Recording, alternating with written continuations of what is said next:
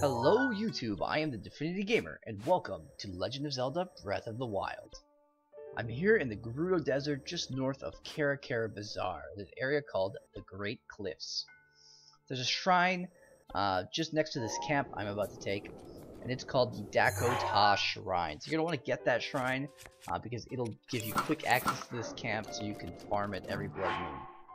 Specifically, the reason I want to farm this camp is because it has three respawning royal broadswords, but it also has a lot of other things, so I'll just make sure you have a complete understanding of everything you can find at this camp every time you take it. So you're going to want to glide down to start to the bottom of this pillar, and then you're going to want to start climbing that pillar. I used no climbing gear, and uh, I had made sure that I used just under one bar of stamina, so you should be able to get up here normally um, no matter how much stamina you have or how many, uh, whether or not you have the climbing gear. Um, so once you get to the top of this uh, skull, you're going to want to take out a bow or use any kind of ranged weapon and take these four lizard guys that are standing on these pillars out, um, or these towers out.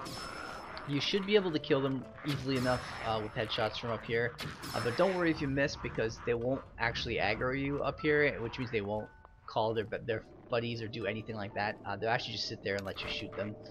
Uh, for some reason they can't see you on top of the skull, so that's a little perk you can have.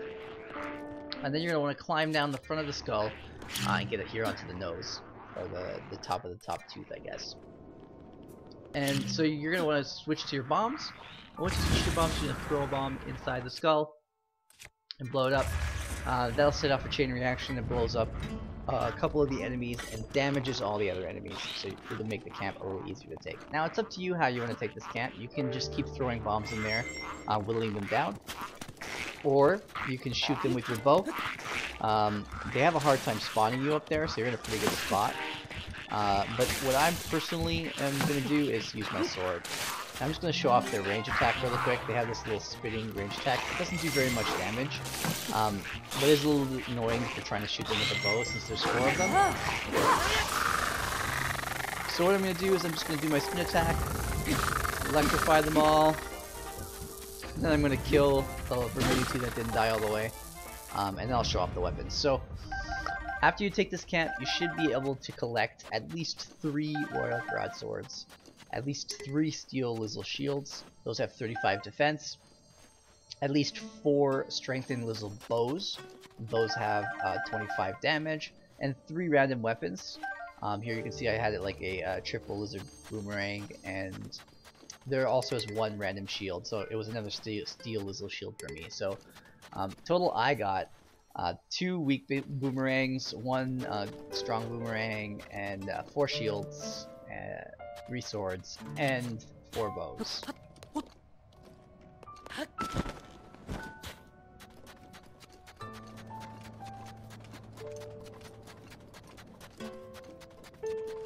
I hope you enjoyed this video. If you did, be sure to like and subscribe, and I'll see you next time in Legend of Zelda Breath of the Wild.